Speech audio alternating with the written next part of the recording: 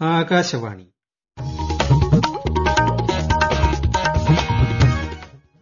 നമസ്കാരം. പ്രാദേശിക വാർത്തകൾ. വായിക്കുന്നത് രഞ്ജിത്ത്.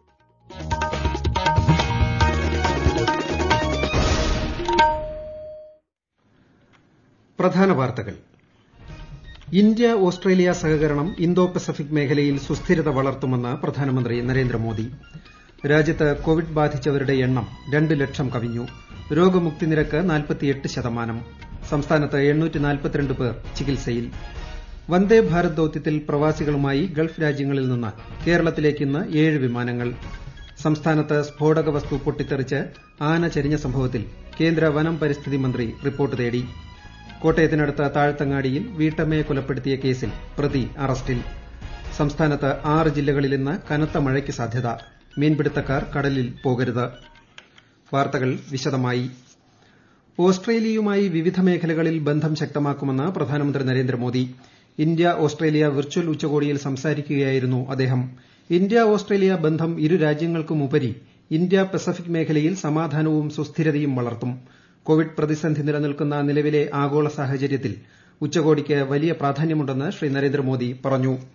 ഇന്തോ പസഫിക് മേഖലയിൽ ഇന്ത്യയ്ക്ക് നിർണായക പങ്ക് വഹിക്കാനാവുമെന്ന് ഓസ്ട്രേലിയൻ പ്രധാനമന്ത്രി സ്കോട്ട് മോറിസൺ പറഞ്ഞു. നേരത്തെ നിശ്ചയിച്ചിരുന്ന ഓസ്ട്രേലിയൻ പ്രധാനമന്ത്രിയുടെ ഇന്ത്യാ സന്ദർശനം കോവിഡ് പശ്ചാത്തലത്തിൽ നടന്നിരുന്നില്ല. ആദ്യമായാണ് ശ്രീ നരേന്ദ്രമോദി ഉഭയകക്ഷി വിർച്ചൽ ഉച്ചകോടി നടത്തുന്നത്. ഏപ്രിൽ ആറിന് ഇരു നേതാക്കളും തമ്മിൽ ടെലഫോൺ സംഭാഷണം നടത്തിയിരുന്നു. രാജ്യത്ത് ഇതുവരെ കോവിഡ് സ്ഥിരീകരിച്ചവരുടെ എണ്ണം രണ്ട് പതിനെട്ടായി. മരണം എഴുപത്തഞ്ചായി ഉയർന്നു. അതേസമയം ഒരു ലക്ഷത്തി നാലായിരത്തി ഒരുന്നൂറ്റി ആറ് പേർ രോഗമുക്തരായിട്ടുണ്ട്. കോവിഡ് മുക്തി നിരക്ക് വൈറസ് വ്യാപനം രൂക്ഷമായ മഹാരാഷ്ട്രയിൽ രോഗബാധിതരുടെ എണ്ണം പേരാണ് രോഗം മൂലം മരണമടഞ്ഞത്. പേർക്ക് രോഗം സ്ഥിരീകരിച്ച ഗുജറാത്തിൽ മരണസംഖ്യ ഡൽഹിയിൽ നിലവിൽ പേർ ചികിത്സയിലുണ്ട്. മരണം ലോകത്ത് കോവിഡ് ബാധിച്ചവരുടെ എണ്ണം അറുപത്തിയഞ്ച് മരിച്ചവരുടെ എണ്ണം മൂന്ന് ലക്ഷത്തി എൺപത്തി എണ്ണായിരത്തി നാൽപ്പത്തി ഒന്ന്. മുപ്പത്തിയൊന്ന് ലക്ഷത്തി എഴുപതിനായിരത്തി അഞ്ഞൂറ്റി അഞ്ച് പേർ രോഗമുക്തരായി. പത്തൊൻപത് ലക്ഷത്തി ആയിരത്തി എഴുന്നൂറ്റി എൺപത്തി മൂന്ന് പേർക്ക് വൈറസ് ബാധ സ്ഥിരീകരിച്ച അമേരിക്കയിൽ മരണസംഖ്യ ഒരു ലക്ഷത്തി ഒൻപതിനായിരത്തി ഒരുന്നൂറ്റി നാൽപ്പത്തിരണ്ടായി. ബ്രിട്ടണിൽ മുപ്പത്തിയൊൻപതിനായിരത്തി എഴുന്നൂറ്റി ഇരുപത്തിയെട്ട് പേരും ഇറ്റലിയിൽ മുപ്പത്തിമൂവായിരത്തി അറുന്നൂറ്റിയൊന്ന് പേരുമാണ് ഇതുവരെ മരിച്ചത്. സംസ്ഥാനത്ത് ഇന്നലെ എൺപത്തിരണ്ട് പേർക്ക് കോവിഡ് സ്ഥിരീകരിച്ചതായി മുഖ്യമന്ത്രി പിണറായി വിജയൻ അറിയിച്ചു. തിരുവനന്തപുരം പതിനാല് മലപ്പുറം പതിനൊന്ന് ഇടുക്കി ഒൻപത് കോട്ടയം എട്ട് കോഴിക്കോട് ആലപ്പുഴ ഏഴ് വീതം പാലക്കാട് എറണാകുളം കൊല്ലം അഞ്ച് വീതം തൃശൂർ നാല് കാസർഗോഡ് മൂന്ന് കണ്ണൂർ പത്തനംതിട്ട രണ്ട് വീതം എന്നിങ്ങനെയാണ് ഇന്നലെ രോഗം സ്ഥിരീകരിച്ചത്. ഇതിൽ പേർ വിദേശത്ത് നിന്ന് എത്തിയവരാണ്. പേർ മറ്റ് സംസ്ഥാനങ്ങളിൽ നിന്ന് വന്നവരാണ്. അഞ്ച് പേർക്ക് സമ്പർക്കം മൂലമാണ് രോഗം ബാധിച്ചത്. വന്ദേ ഭാരത് ദൌത്യത്തിൽ പ്രവാസികളുമായി ഗൾഫ് രാജ്യങ്ങളിൽ നിന്ന് ഇന്ന് വിമാനങ്ങൾ ഇന്ത്യയിലെത്തും. ഇവയിൽ ഏഴെണ്ണം കേരളത്തിലേക്കാണ്. ആറ് വിമാനങ്ങൾ യു എയിൽ നിന്നാണ്. ദുബായിൽ നിന്ന് ജയ്പൂർ ഹൈദരാബാദ് മധുര കൊച്ചി തിരുവനന്തപുരം എന്നിവിടങ്ങളിലേക്കും. അബുദാബിയിൽ നിന്ന് കോഴിക്കോട്ടേക്കുമാണ് സർവീസ് സൌദി അറേബ്യയിൽ നിന്ന് മൂന്ന് വിമാനങ്ങളുണ്ട്. ശ്രീനഗർ ചെന്നൈ കൊൽക്കത്ത എന്നിവിടങ്ങളിലേക്കാണ് വിമാനങ്ങൾ എത്തുന്നത്. കുവൈറ്റിൽ നിന്ന് ഡൽഹി കോഴിക്കോട് എന്നിവിടങ്ങളിലേക്കും. ഖത്തറിൽ നിന്ന് ലക്നൌ കണ്ണൂർ ഒമാനിൽ നിന്ന് കൊച്ചി തിരുവനന്തപുരം എന്നിവിടങ്ങളിലേക്കും ഓരോ സർവീസ് ഉണ്ടാകും ഇന്നലെ ഗൾഫ് മേഖലയിൽ നിന്ന് പ്രവാസികൾ സ്വദേശത്തെത്തി. നെടുമ്പാശ്ശേരി അന്താരാഷ്ട്ര വിമാനത്താവളത്തിൽ ആഭ്യന്തര സർവീസിൽ ഒരു വിമാനം ഇന്ന് എത്തിച്ചേർന്നു. ഇനി എട്ട് വിമാനങ്ങൾ കൂടി എത്തിച്ചേരാനുണ്ട്. വിദേശത്തു നിന്ന് പ്രവാസികളെ കേരളത്തിലെത്തിക്കാൻ കൂടുതൽ വിമാനങ്ങൾക്ക് അനുമതി നൽകാൻ തയ്യാറെന്ന് മുഖ്യമന്ത്രി പിണറായി വിജയൻ പറഞ്ഞു. എത്ര വിമാനങ്ങൾക്ക് അനുമതി വേണമെന്ന് കേന്ദ്ര വിദേശകാര്യ മന്ത്രാലയത്തോട് ചോദിച്ചിട്ടുണ്ട്. വന്ദേ ഭാരത് ദൌത്യത്തിൽ വിമാനങ്ങൾ വരുന്നതിന് സംസ്ഥാനം യാതൊരു നിബന്ധനയും വച്ചിട്ടില്ല. കൊച്ചി അന്താരാഷ്ട്ര വിമാനത്താവളത്തിൽ ദുബായ് അബുദാബി ദമാം എന്നിവിടങ്ങളിൽ നിന്ന് ഇന്നലെ പ്രവാസികളെയും വഹിച്ച് വിമാനങ്ങൾ എത്തിച്ചേർന്നു.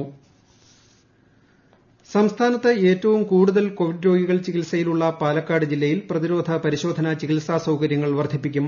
ഇന്നലെ അഞ്ച് പേർക്ക് കൂടി കോവിഡ് സ്ഥിരീകരിച്ചതോടെ ജില്ലയിലെ രോഗികളുടെ എണ്ണം വിശദാംശങ്ങളുമായി പാലക്കാട് നിന്നും ആകാശവാണി പ്രതിനിധി ഫൈസൽ അലിമുത്ത്. ആരോഗ്യ പ്രവർത്തകർ ഉൾപ്പെടെ രോഗികളുടെ എണ്ണം വർദ്ധിക്കുന്ന സാഹചര്യത്തിൽ പ്രതിരോധ പ്രവർത്തനങ്ങൾ ചർച്ച ചെയ്യാൻ മന്ത്രിമാരായ A K Balan K Krishnankutty എന്നിവരുടെ അധ്യക്ഷതയിൽ ജില്ലയിലെ രാഷ്ട്രീയ പാർട്ടി പ്രതിനിധികളുടെ യോഗം കളക്ടറേറ്റിൽ പുരോഗമിക്കുകയാണ്. ജില്ലാ ആശുപത്രിയിലെ കോവിഡ് ചികിത്സയും ഇതര ചികിത്സകളും പുനഃക്രമീകരിക്കുന്നതിനെക്കുറിച്ചും കൂടുതൽ ചികിത്സാ സൌകര്യങ്ങൾ ഒരുക്കുന്നതിനെക്കുറിച്ചും യോഗം ചർച്ച ചെയ്യും. ജില്ലാ ആശുപത്രിയിലെ കോവിഡ് വാർഡിൽ ഭക്ഷണം ഉൾപ്പെടെ സൌകര്യങ്ങൾ ലഭിക്കുന്നില്ലെന്ന് രോഗികൾ കഴിഞ്ഞ ദിവസം പരാതിപ്പെട്ടിരുന്നു. പരാതികൾ പരിഹരിച്ചതായും തടസ്സമില്ലാതെ ഭക്ഷണ വിതരണത്തിനുള്ള നടപടികൾ സ്വീകരിച്ച ലഭിച്ചതായും ജില്ലാ ഭരണകൂടം അറിയിച്ചു. പരിശോധനകൾ കൂടിയ പശ്ചാത്തലത്തിൽ വേഗത്തിൽ ഫലം ലഭിക്കുന്നതിനായി സാമ്പിളുകൾ ആലപ്പുഴയിലെ വൈറോളജി ലാബിലേക്ക് കൂടി അയച്ചു തുടങ്ങി.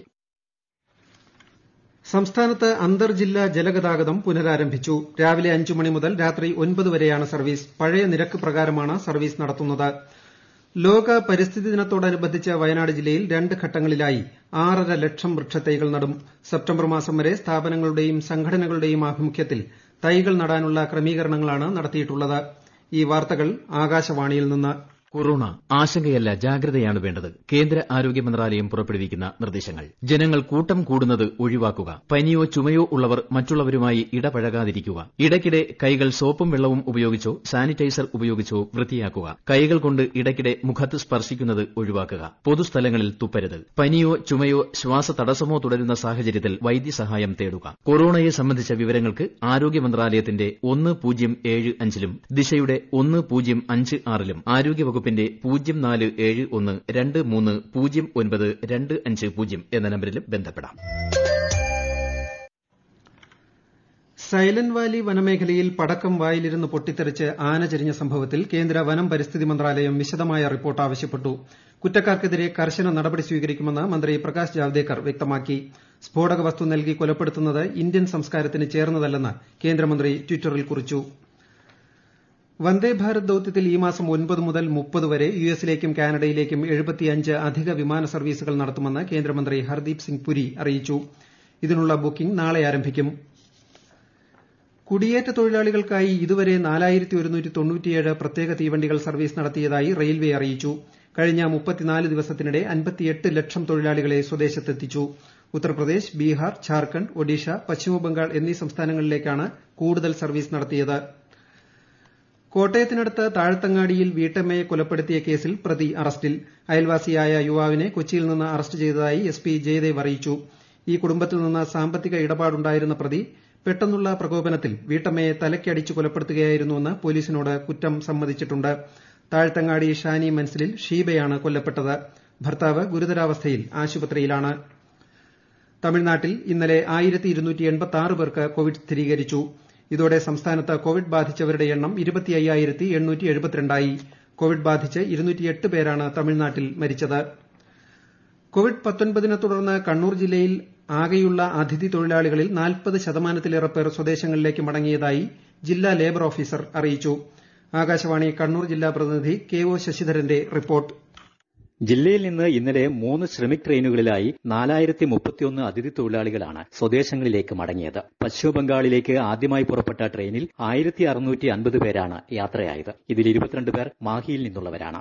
ഒറീസയിലേക്ക് ഇന്നലെ വൈകിട്ട് ആയിരത്തി അറുന്നൂറ്റി പതിമൂന്ന് അതിഥി തൊഴിലാളികളാണ് ശ്രമിക് ട്രെയിനിൽ പുറപ്പെട്ടത്. ഇന്നലെ രാത്രി വൈകി ഉത്തർപ്രദേശിലേക്ക് പുറപ്പെട്ട ട്രെയിനിൽ എഴുന്നൂറ്റി അറുപത്തിയെട്ട് പേരാണ് കണ്ണൂരിൽ നിന്ന് യാത്രയായത്. ഈ ട്രെയിൻ കാഞ്ഞങ്ങാട് നിന്നും ഇരുന്നൂറ്റി മുപ്പത് അതിഥി തൊഴിലാളികളുമായാണ് കണ്ണൂരിലെത്തിയത്. ഇന്ന് വൈകിട്ട് ഒറീസയിലേക്ക് മറ്റൊരു ശ്രമിക് എക്സ്പ്രസും കണ്ണൂരിൽ നിന്ന് പോകുന്നുണ്ട്. അതിനിടെ വന്ദേ ഭാരത് ദൌത്യത്തിന്റെ ഭാഗമായി ഇന്ന് ദോഹയിൽ നിന്ന് രാത്രി എട്ട് മണിക്ക് പ്രവാസികളുമായി എയർ ഇന്ത്യ എക്സ്പ്രസ് വിമാനം കണ്ണൂർ രാജ്യാന്തര വിമാനത്താവളത്തിൽ എത്തിച്ചേരും. കുവൈറ്റിൽ നിന്ന് വന്ന ധർമ്മടം സ്വദേശിക്കും സമ്പർക്കത്തിലൂടെ തലശ്ശേരി സ്വദേശിക്കുമാണ് ഇന്നലെ ജില്ലയിൽ കോവിഡ് സ്ഥിരീകരിച്ചത്. കേരളത്തിൽ കാലവർഷം ശക്തിപ്പെട്ടതോടെ വ്യാപകമായി മഴയ്ക്ക് സാധ്യതയുണ്ടെന്ന് കാലാവസ്ഥാ വകുപ്പ് അറിയിച്ചു. സംസ്ഥാനത്ത് ആറ് ജില്ലകളിലും ലക്ഷദ്വീപിലും ഇന്ന് യെല്ലോ അലർട്ട് പ്രഖ്യാപിച്ചിട്ടുണ്ട്. കൊല്ലം ആലപ്പുഴ എറണാകുളം കോഴിക്കോട് കണ്ണൂർ കാസർഗോഡ് എന്നീ ജില്ലകളിലാണ് മുന്നറിയിപ്പ് നൽകിയിട്ടുള്ളത്. ഞായറാഴ്ച വരെ വ്യാപകമായി മഴയ്ക്ക് സാധ്യതയുണ്ട്. കേരളത്തിലെ തീരങ്ങളിൽ കാറ്റിന്റെ വേഗം മണിക്കൂറിൽ കിലോമീറ്റർ വരെയാകാൻ സാധ്യതയുള്ളതിനാൽ മീൻപിടുത്തക്കാർ കടലിൽ പോകരുതെന്ന് നിർദ്ദേശിച്ചിട്ടുണ്ട്. രാജ്യത്തെ ഓഹരി വിപണികളിൽ ഇന്ന് നഷ്ടം. മുംബൈ സൂചിക സെൻസെക്സ് പോയിന്റ് ഇടിഞ്ഞ്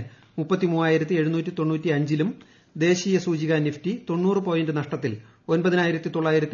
ഒന്നിലുമാണ് വ്യാപാരം പുരോഗമിക്കുന്നത്. ഇന്ത്യ ഓസ്ട്രേലിയ സഹകരണം ഇന്തോ പസഫിക് മേഖലയിൽ സുസ്ഥിരത വളർത്തുമെന്ന് പ്രധാനമന്ത്രി നരേന്ദ്രമോദി. രാജ്യത്ത് കോവിഡ് ബാധിച്ചവരുടെ എണ്ണം രണ്ട് ലക്ഷം കവിഞ്ഞു. രോഗമുക്തി നിരക്ക് സംസ്ഥാനത്ത് പേർ ചികിത്സയിൽ. വന്ദേ ഭാരത് ദൌത്യത്തിൽ പ്രവാസികളുമായി ഗൾഫ് രാജ്യങ്ങളിൽ നിന്ന് കേരളത്തിലേക്ക് ഇന്ന് ഏഴ് വിമാനങ്ങൾ. സംസ്ഥാനത്ത് സ്ഫോടക വസ്തു പൊട്ടിത്തെറിച്ച് ആന ചരിഞ്ഞ സംഭവത്തിൽ കേന്ദ്ര വനം പരിസ്ഥിതി മന്ത്രി റിപ്പോർട്ട് തേടി. കോട്ടയത്തിന് അടുത്ത് താഴ്ത്തങ്ങാടിയിൽ വീട്ടമ്മയെ കൊലപ്പെടുത്തിയ കേസിൽ പ്രതി അറസ്റ്റിൽ. സംസ്ഥാനത്ത് ആറ് ജില്ലകളിൽ ഇന്ന് കനത്ത മഴയ്ക്ക് സാധ്യത. മീൻപിടുത്തക്കാർ കടലിൽ പോകരുത്.